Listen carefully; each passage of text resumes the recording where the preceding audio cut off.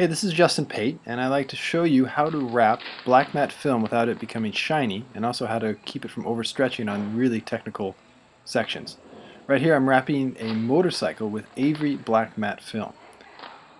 And motorcycle gas tank is definitely one of the most difficult things to wrap because you're basically wrapping a ball that goes in many different directions, and you're trying to make a film work around it in one piece. So the trick is with black matte film especially, because it becomes shiny so quick, is instead of heating it and just simply whipping it around the whole thing, which is tempting to do, what I do here is I treat it like as if I'm almost wrapping calendar film. Calendar film is much stiffer than cast film. This is a black matte cast film by Avery.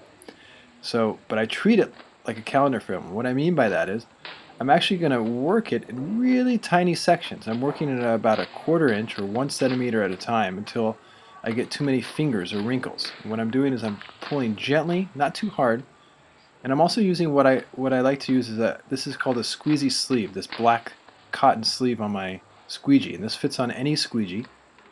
And what I do is, why I like to use the squeezy sleeve is because it's thin and hard. A lot of people, I like to use this thing called a flexi felt, uh, which goes on my squeegee, but it's a little too wide.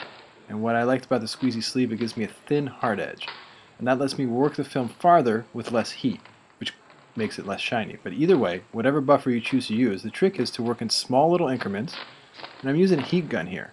And when I heat, I don't pull too hard, I just heat it just a little, soften the film, and then I work it, and I'm pulling it in different directions based on where I know the curves are going to be. So I'm kind of setting the film up. I'm pulling actually to the sides, because if I work the film straight down, it's going to bunch up in the middle. So what I'm doing is I'm pulling the tension to the sides.